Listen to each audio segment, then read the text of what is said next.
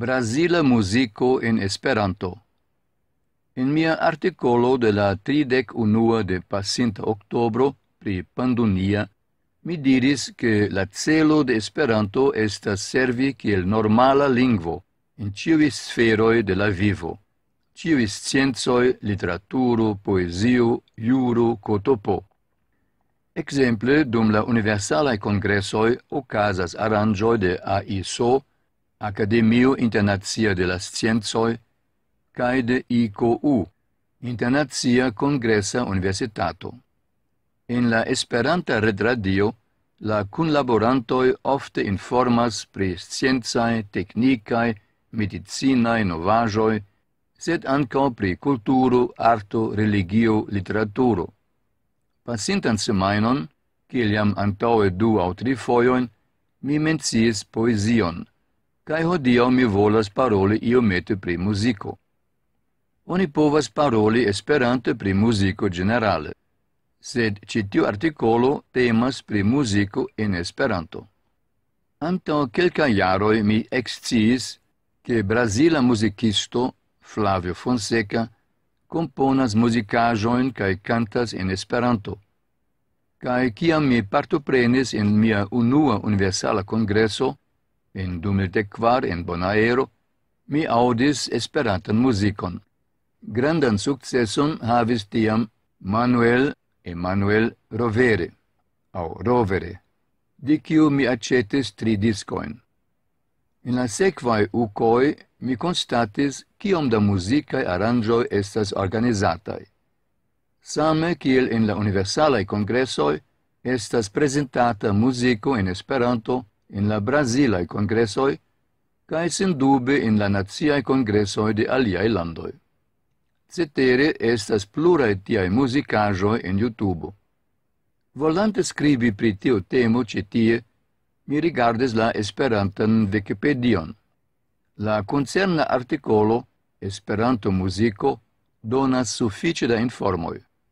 Tiel tiu, tiu ciis malmulte pri la temo, povos bone informigi pri gi kaj excios kiom da cantistoi kaj grupoj existas in Esperantujo.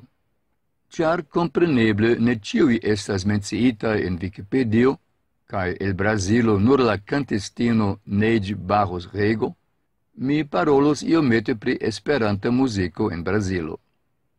Sin dube la plej conata Brasila Esperanto cantistino estas Neide Barros Rego, kiu cantis in Brasilae Esperantae Congressoi cae ancao exterlande.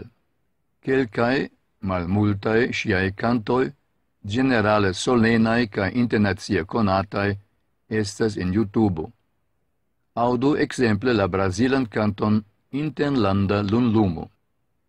Conata Brasila cantisto en Esperantojo estas Tarsiso Lima, kiu productis la diskon verda stelae brasilajoi.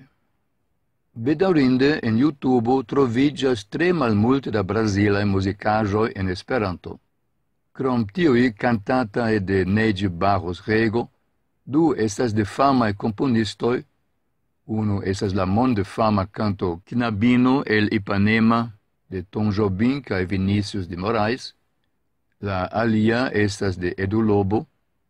Alia estas componajo facte carnavala sambo de la conata esperantisto cae ex-presidanto de la Academio de Esperanto, Geraldo Matos. La tri estas cantatae de Flavio Fonseca. Ne estas facile trovi la esperanta in canton en YouTube. Estos agrablege se io farus liston de ili, prefere laulandoi. La iam menciita Flavio Fonseca comencis antau quelque da tempo fari ion tre interesan cae avantagian por brasilae esperantistoi. Li mem traducis textoin de brasilae cantoi, collectis iam existantain traducoin, cae poste petis aliaen traduci pliaen cantoin. Pasintan jaron li creis in septembro la blogon Brasila Collecto, in kiu li kunigis kaj kunigas tiujn traducoin. En la blogo legeblas trovu en ci blogo buntan kolekton de brazilaj kantoj esperantigitai, organizitan lau aŭtoroj, tradukintoj, stiloi kaj plu. Ciui versioi estas revisiitai, lau giustezzo cae komprenebleco, cae ciui conservas la originalan metrikon do estas canteblai. La blogo Brasila Collecto estas ancao utila kiel apoga instru materialo.